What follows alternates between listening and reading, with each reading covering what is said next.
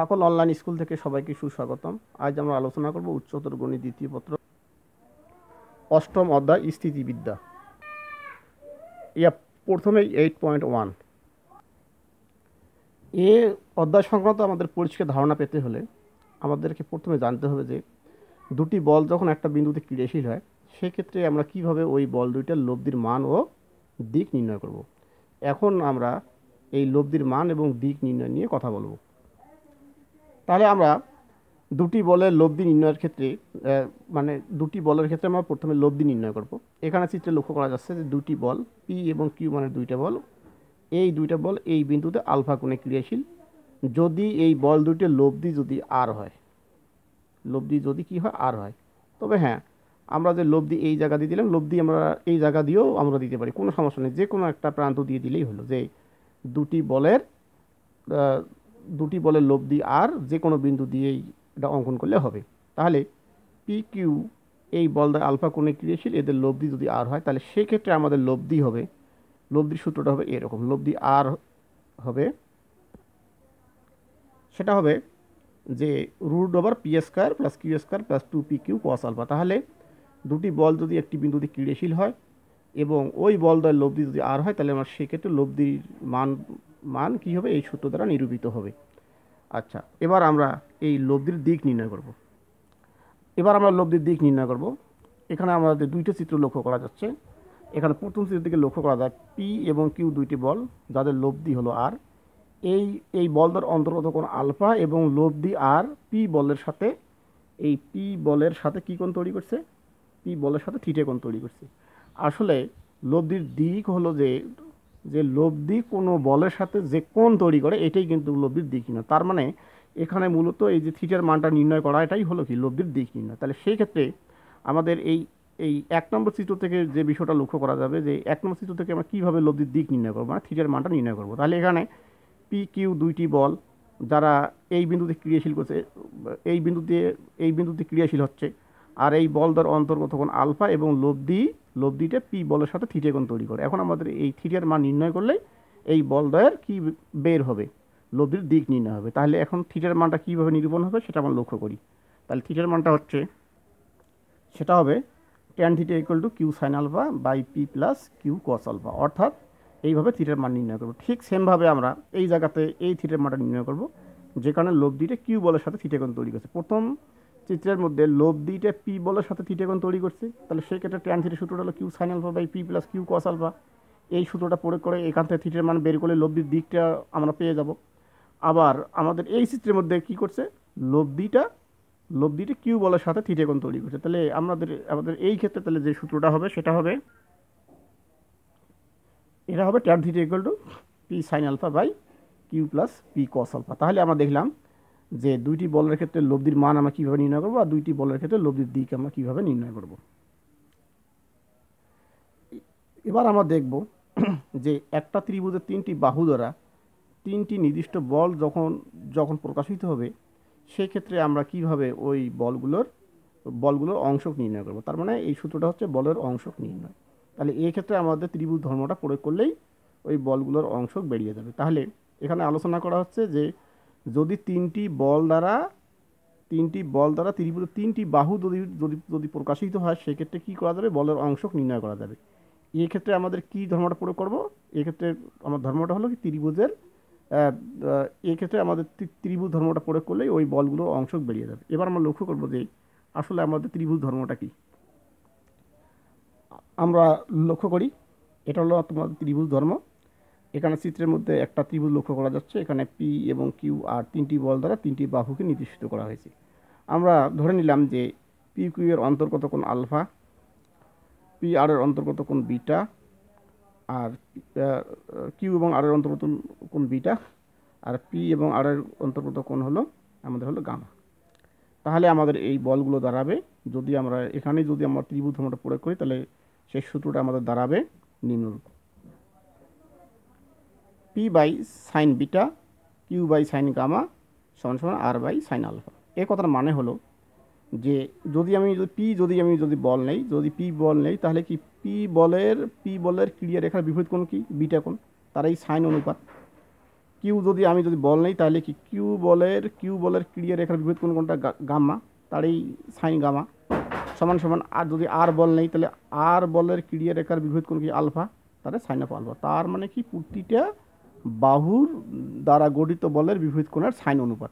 তাহলে এই এই সূত্রটাকে বলা হয় ত্রিভুজ ধর্ম। তাহলে আমরা যে তিনটি বল, যদি কোনো ত্রিভুজে তিন বাহু দ্বারা নির্দেশিত হয় এবং কোনগুলো যদি নির্দিষ্ট থাকে, তাহলে আমরা এই ত্রিভুজ ধর্ম প্রয়োগ করে এই পি কিউ আর এর মানগুলো বের করতে পারি। এটাই হলো বলের অংশ নির্ণয়ের সূত্র। যদি আমরা এই সূত্রটাকে যদি বোঝার সুবিধাতে, যদি ব্যবহারের সুবিধাতে যদি আমরা এভাবে করে বোঝাই নেই যে প্রথমে যদি আমি যদি পি বল নেই, তাহলে এই দেখো যে পি বলের ক্রিয়া রেখার মধ্যে দুইটা কোণ আছে। কোন দুইটা আলফা এবং গামা এই কোণ দুটো তাহলে বাদ দেবো। দিয়ে তাহলে কী কোন পাওয়া যায় বিটা তারই সাইন অনুপাত সাইন অফ বিটা তারপরে যদি কিউ যদি বল নেই, তাহলে কিউ বলের কিউ বলের যে ক্রিয়া রেখার মধ্যে যে কিউ বলের ক্রিয়া রেখার মধ্যে আলফা বিটে কোন দুইটা পাওয়া যাচ্ছে, তাহলে এই কোণ দুটো বাদ দিলে কী পাওয়া যাচ্ছে? গামা তারই সাইন গামা সমান সমান। আর যদি বল নেই, তাহলে কি আর বলের ক্রিয়া রেখার মধ্যে দুইটা দুইটা কোণ আছে, সেটা হলো যে গামা এবং বিটা। তাহলে গামা এবং বিটা বাদে কী পাবো? আলফা। তাহলে R by sine of alpha.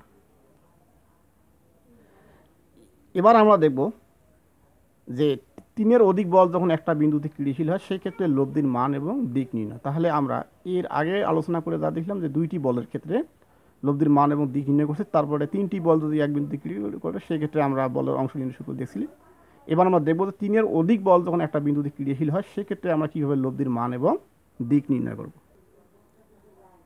তাহলে আমরা প্রথমে একটা চিত্র লক্ষ্য করি। এই চিত্রের মধ্যে দেখতে পাওয়া যাচ্ছে যে ও এক্স এবং ও ওয়াই দুইটা কার্তিসীয় দুটা রেখা যাদের পরস্পর লম্ব। এখানে পি ওয়ান মানের একটি বল পি টু মানের বল পি থ্রি মানের বল পি ফোর এভাবে করে চলতে আছে। এগুলান বলগুলো যথাক্রমে ও এক্স রেখার সাথে আলফা ওয়ান পি টু তৈরি করছে আলফা টু পি থ্রি কোন তৈরি করছে আলফা থ্রি এবং পি ফোর বল তৈরি করছে আলফা ফোর এখানে ভালোভাবে লক্ষণীয় যে পি ওয়ান বলের ক্রিয়া রেখাটা ও এক্স রেখার সাথে আলফা ওয়ান আলফা ওয়ান কোণ তৈরি করছে আলফা ওয়ান তারপরে পি টু বলের পি টু বলের ক্রিয়া রেখাটা ও এক্স রেখার সাথে তৈরি করছে আলফা টু কোণ। তারপরে হলো পি থ্রি বলের ক্রিয়া রেখাটা ও এক্স ও এক্সের সাথে আলফা থ্রি কোণ তৈরি করে। অনুরূপভাবে পি ফোর বলের পি ফোর বলের ক্রিয়া রেখাটা ও এক্স রেখার সাথে আলফা ফোর কোণ তৈরি করে আলফা ফোর কোণ তৈরি করে।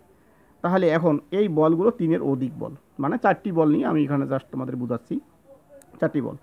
তাহলে সেক্ষেত্রে তো এই বলগুলো তো একটা লব্ধি থাকবে, তাহলে আমরা ধরে নিলাম ওই লব্ধিটা আর সেই তোমাদের লব্ধিটা আর এই যে আর বলের ক্রিয়া রেখাটা ও এক্স রেখার সাথে থিটে কোণ তৈরি করে। তাহলে এখানে প্রত্যেকটা বলেই নির্দিষ্ট করে ও এক্স রেখার সাথে নির্দিষ্ট করে একটা কোণ তৈরি করল এবং এই বলগুলো লোভ লব্ধি যে আর, আরটাও কী করল? ও এক্স রেখার সাথে একটা থিটে কোণ তৈরি করল। তাহলে সেক্ষেত্রে এই বলগুলোর লব্ধি এবং লব্ধি কী হবে এবং লব্ধির মান লব্ধির দিক আমরা কীভাবে করে আমরা নির্ণয় করব। এবার আমরা তাহলে প্রথমে লক্ষ্য করি, লব্ধি নির্ণয়। না, তার আগে তাহলে আমাদের বলগুলোর অংশ আগে বের করে নিতে হবে। আমাদের প্রথমে লব্ধি নির্ণয় করা যাবে না। তাহলে এই ক্ষেত্রে যদি তিনের অধিক যদি বল হয়, তাহলে বলগুলোর আগে আমাদের অংশগুলো বের করতে হবে। প্রথম অংশটা হবে ও এক্স অক্ষ বরাবর, পরেরটা হবে ও ওয়াই বরাবর। এই বলগুলোর আগে লম্বাংশগুলো বের করে নিতে। তার মানে ও এক্স অক্ষ বরাবর বলগুলো লম্বাংশ বের করতে হবে, তারপরে ও ওয়াই বরাবর বলগুলো লম্বাংশ বের করে নিতে হবে। এবার আমরা শুরুতে ও এক্স বরাবর বলগুলো লম্বাংশ নির্ণয় করব। আর ও এক্স বরাবর বলগুলো লম্বাংশ হবে, সেটা হবে R cos theta equal p one cos alpha one p two cos alpha two p three cos alpha three p four cos of alpha four তার মানে আর হলো বলগুলো লব্ধি। তাহলে লব্ধিটা যেহেতু ও এক্স রেখার সাথে থিটে কোণ, লব্ধিটা আর যেহেতু ও এক্স রেখার সাথে থিটে কোণ তৈরি করছে, তারে কুসাইন মানে আর কস থিটে তারপরটা হলো পি ওয়ান বলটা কী তৈরি করছে? ও এক্স রেখার সাথে আলফা ওয়ান কোণ তৈরি করছে, তারে কুসাইন তাহলে p one cos alpha one ঠিক সেরূপভাবে পি টু বলটা আর পি টু বলটা ও এক্স রেখার সাথে আলফা টু কোণ তৈরি করছে, তাহলে কী হবে? P two cos alpha two একইভাবে p three cos alpha three একইভাবে p four cos alpha four এভাবে করে এভাবে করে এদের সমষ্টিগুলোই হবে আর কস থিটা আর এটাই হলো ও এটাই হলো ও এক্স বরাবর বলগুলোর লম্বাংশ। এবার আমরা ও ওয়াই বরাবর বলগুলো লম্বাংশগুলো লক্ষ্য করতে পারছি। সেটা হচ্ছে R sine theta p one sine alpha one p two sine alpha two p three sine alpha three p four sine of alpha four তার মানে যেহেতু আর বলটা ও এক্স রেখার সাথে থিটে কোণ তৈরি করছে, অতএব তার এই সাইন অনুপাত মানে আর সাইন থিটে সমান সমান হবে পি ওয়ান আর পি ওয়ান বলটা পি ওয়ান বলটা ও রেখার সাথে আলফা ওয়ান তৈরি তার হবে সাইন আলফা ওয়ান ঠিক একইভাবে p two sine alpha two p three sine alpha three plus p four sine of alpha four তাহলে এভাব করেই তোমাদের বলগুলো লম্বাংশ বের করা। তার মানে যেগুলো কস দ্বারা শুরু, সেগুলো হচ্ছে কি ও এক্স বরাবর বলগুলো লম্বাংশ, আর ও ওয়াই বরাবরগুলো হচ্ছে আর সাইন থিটা দ্বারা। ঠিক আছে? এটাই হলো সমীকরণ নাম্বার এক, এটাই হলো সমীকরণ নাম্বার দুই। এভাব করে আমরা যদি যদি তিনের অধিক বল যদি কোনো বিন্দুতে ক্রিয়াশীল হয়, তাহলে আমাদের প্রথমে এভাব করে একটা নির্দিষ্ট রেখা বরাবর বলগুলোর লম্বাংশগুলো আগে বের করে নিতে হবে। ঠিক আছে?